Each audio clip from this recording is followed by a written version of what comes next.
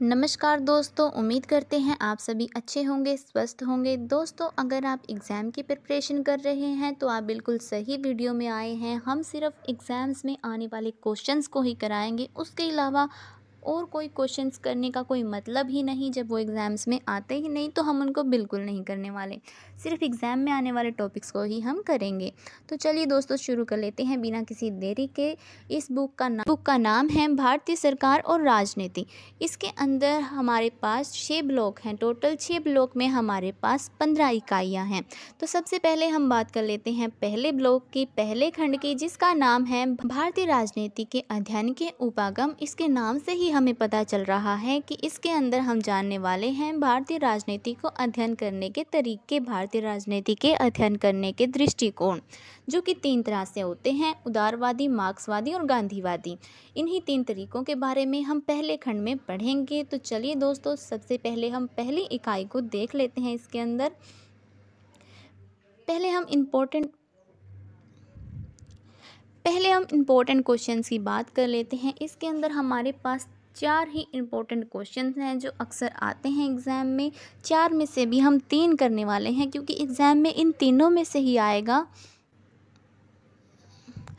Exam में question कुछ इस तरह से आते हैं। भारतीय राजनीति के अध्ययन के उदारवादी उपागमों की चर्चा कीजिए। भारतीय राजनीति के अध्ययन के मार्क्सवादी उपागम के क्षेत्रों को समझाइए। मार्क्सवादी दृष्टिकोण की चर्चा कीजिए, गांधीवादी दृष्टिकोण की चर्चा कीजिए। इस तरह से ही क्वेश्चन आते हैं। इन तीनों में से एक क्वेश्चन पक्का एग्ज़ाम में आता ही आता है। बीस में पहले ब्लॉक के इंपॉर्टेंट क्वेश्चन इन क्वेश्चन में से एक क्वेश्चन पक्का एग्ज़ाम में आता ही आता है। पहला ही क्वेश्चन होता है एग्ज़ाम में इस ब्लॉक का, जो कि 20 मार्क्स में होता है। अगर आप इस ब्लॉक को अच्छे से कर लेते हैं तो आपके 20 मार्क्स पक्के हो जाते हैं। ये एक इंपॉर्टेंट बात है कि 20 मार्क्स के क्वेश्चन को आपको पाँच पेजेस या चार पेजेस में लिखना है। स्टूडेंट्स क्या करते हैं कि तीन पेज में लिख दिया, दो पेज में लिख दिया, एक पेज आधे पेज में लिख दिया। जितना आता है उतना लिखकर अगला क्वेश्चन स्टार्ट कर देते हैं। ऐसे में आपका क्वेश्चन कंप्लीट नहीं माना जाएगा। उसके उस क्वेश्चंस के आपको पूरे नंबर नहीं मिलते हैं। इसी तरह से स्टूडेंट्स के नंबर काफ़ी कम आते हैं। तो पाँच पेजेस में आपको ये कंप्लीट करना है क्वेश्चन तो चलिए दोस्तों, अब हम शुरू कर लेते हैं यूनिट वन को। एग्ज़ाम में आपको कैसे लिखना है, लिख कर दिखाया गया है और वही हम आपको समझाने वाले हैं। यूनिट वन में एक ही क्वेश्चन है। भारतीय राजनीति के उदारवादी उपागम को बताइए।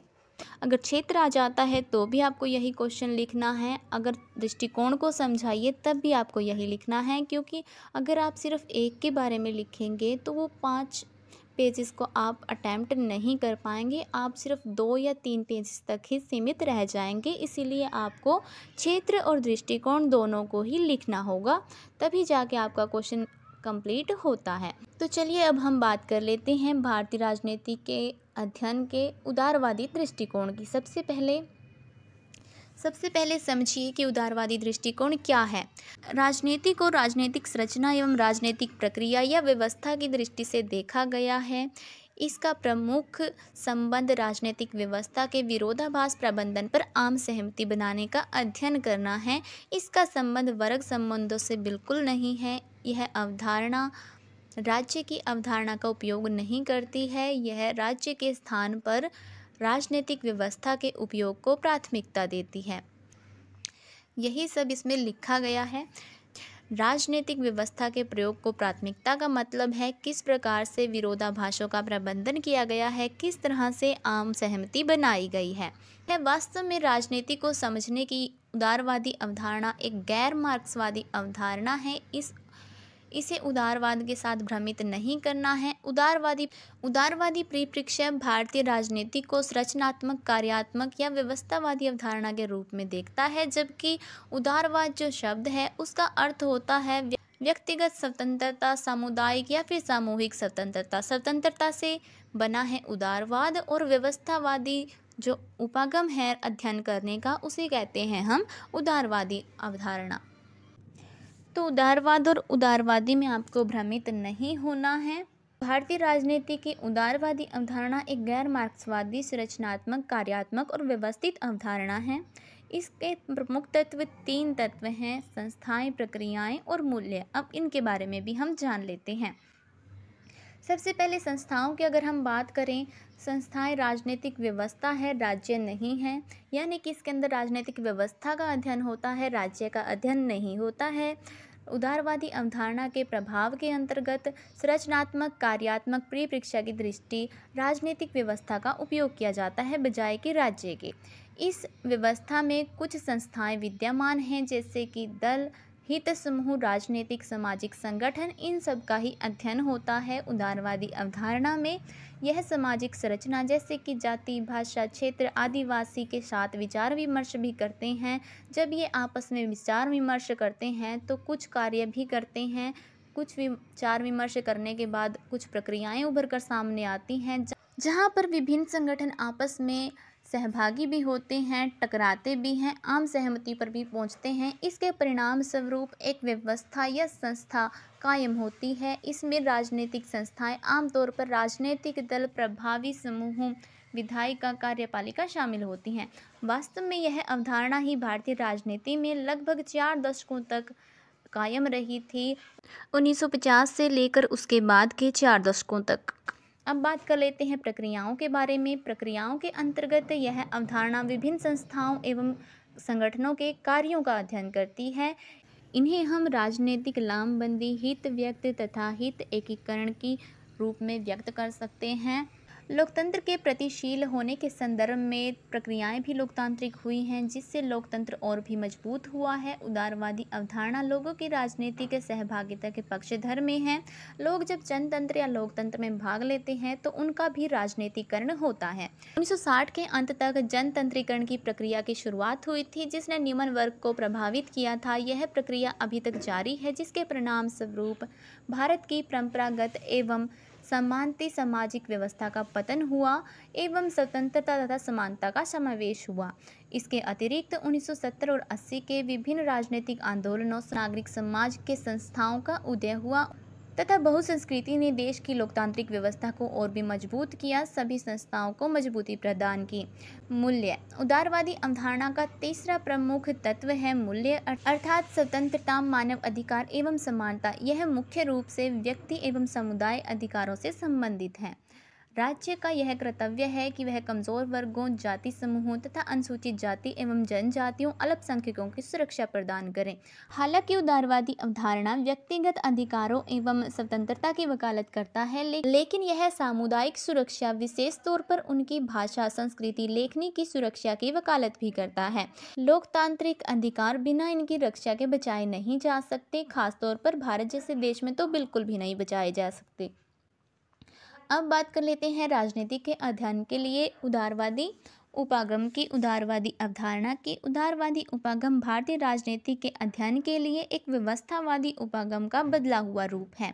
तो जब उदारवादी दृष्टिकोण को भारतीय राजनीति के अध्ययन के लिए उपयोग किया जाता है तो हम इसे व्यवस्थावादी अवधारणा भी कह सकते हैं। व्यवस्थावादी उपागम व्यवहारवादी आंदोलन से उभर कर सामने आया है।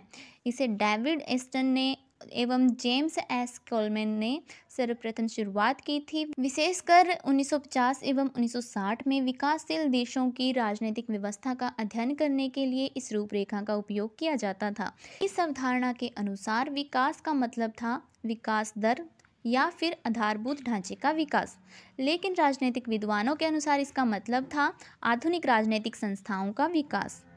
इसका प्रमुख लक्ष्य है राजनीतिक संस्थाओं के संगठनों का विकास करना तथा संगठनों में आपसी तालमेल या सहमति कायम करना। इस उपागम में राजनीतिक व्यवस्था का संबंध राजनीतिक संस्थाओं, संरचनाओं और प्रक्रियाओं से है। ये तीनों आपस में एक दूसरे के साथ मेल मिलाप संघर्ष भी करती हैं, आपस में संतुलन एवं गैर संतुलन बनाने का काम भी करती हैं। इस परिस्थिति में राजनीतिक व्यवस्था कायम रहती है, न कि यह व्यवस्था खराब होती है। स्वतंत्रता प्राप्ति के प्रारंभिक वर्षों में कई राजनीतिक विद्वानों ने भारतीय राजनीति के अध्ययन के लिए इसी उपागम को अपनाया, जिनमें से रजनी कोठारी एक थी। उनकी पुस्तक भारत की राजनीति इसका एक प्रमुख उदाहरण है। आप यहाँ तक भी लिख सकते हैं। यहाँ तक आपका क्वेश्चन कंप्लीट हो जाता है। लेकिन अगर आपको और अटैम्प्ट करना है तो आप आगे कंटिन्यू कर सकते हैं। इसको रजनी कोठारी वाले एग्ज़ाम्पल को पूरा एक्सप्लेन करके लिख सकते हैं। जैसे कि रजनी कोठारी ने भारतीय स्तर की राजनीति को समझने के लिए इस उपागम को अपनाया था। राजनीतिक व्यवस्था लचीली है, यह जीवित रहती है, उनकी किताब मुख्य रूप से कार्यात्मक व्यवस्था का अनुसरण करती है।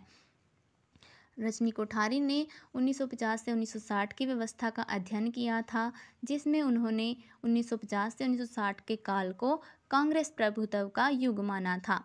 लेकिन सीपी भामरी ने उन्नीस सौ चौहत्तर में रजनी कोठारी के भारतीय राजनीति अध्ययन की आलोचना की। उनकी आलोचना के अनुसार, उनकी आलोचना उनकी पुस्तक की समीक्षा के अंतर्गत थी। भामरी के अनुसार कोठारी की रूपरेखा भारतीय राजनीति में प्रमुख प्रश्न जैसे कि राज्य के चरित्र का वर्गीकरण होने का निषेध करती है, राज्य में साम्राज्यवाद के होने का निषेध करती है।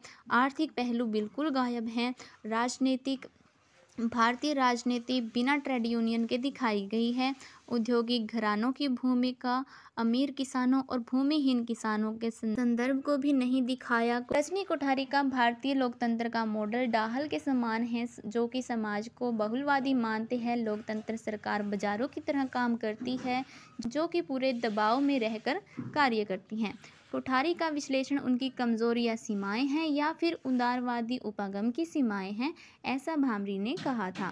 यह उपागम वर्ग संघर्षों को नहीं मानता, जो कि सामाजिक परिवर्तन की प्रक्रिया है।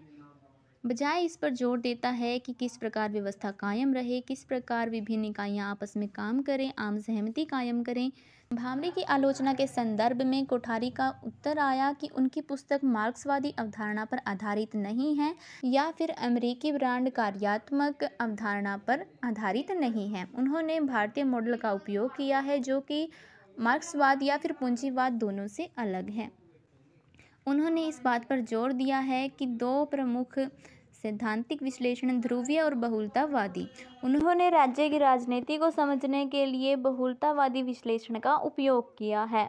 1970 के दौरान विभिन्न विद्वानों ने अपने शोध में व्यवस्थावादी उपागम का उपयोग किया। उन्होंने राजनीतिक व्यवस्था को राजनीतिक दलों जातियों धर्म भाषा नेतृत्व चुनाव व दबाव समूह को भी शामिल किया। उन्होंने प्रमुख रूप से उदारवादी उपागम का सहारा लिया कांग्रेस का अध्ययन करने में। अब बात कर लेते हैं रिच डेसीसन की। रिच डेसीसन ने राजस्थान एवं उत्तर प्रदेश में कांग्रेस के अध्ययन के लिए उप, उदारवादी उपागम का उपयोग किया लेकिन 1970 के अंत में समाज में परिवर्तन हुए जिसने राज्य के स्वरूप और लक्षणों में परिवर्तन किया। परिवर्तन के कारण थे भूमि सुधार हरित क्रांति और कल्याणकारी नीतियाँ। ले, लेकिन भारतीय राजनीति के उदारवादी उपागम में परिवर्तन लाने में असमर्थ थे। इकबाल नारायण ने उन्नीस सौ छिहत्तर में भारतीय राजनीति के विश्लेषण के लिए इस सिद्धांत का उपयोग किया। इस समय उदारवादी उपागम में परिवर्तन देखने को मिले। यह उपागम राजनीतिक व्यवस्था के बजाय अब राज्य की अवधारणा का उपयोग करने से परहेज नहीं करते थे। अब राज्य की अवधारणा का भी उपयोग किया जाने लगा था। जोया हसन 1980 में राज्य की वापसी के संबंध में राज्य के अध्ययन के लिए कुछ महत्वपूर्ण पहलुओं पर ज़ोर दिया। इसमें राज्य के संबंधित मुख्य साहित्य मौजूद था।